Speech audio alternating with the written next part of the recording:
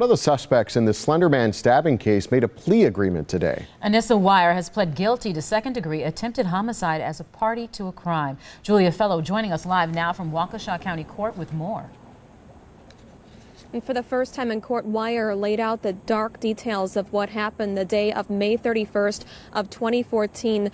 The judge asked her to name the victim in court, and she replied, I put her through enough.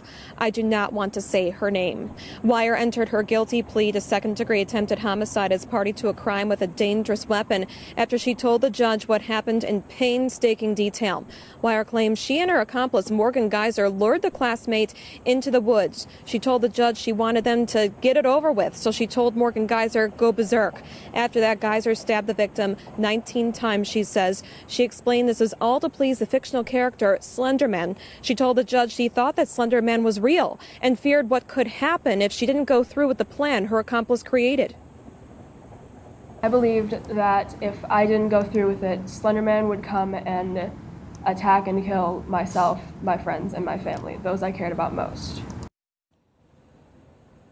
And just because Weier pled guilty, it doesn't mean that this is over. Next month, a jury is going to decide whether Weier is guilty by mental disease or defect that could change her sentencing. Morgan Geyser, she was also in court this afternoon. Hear what happened in that case coming up on Live at 5. Reporting live in Waukesha County Court, Julia Fello, today's TMJ4. Julia, thank you.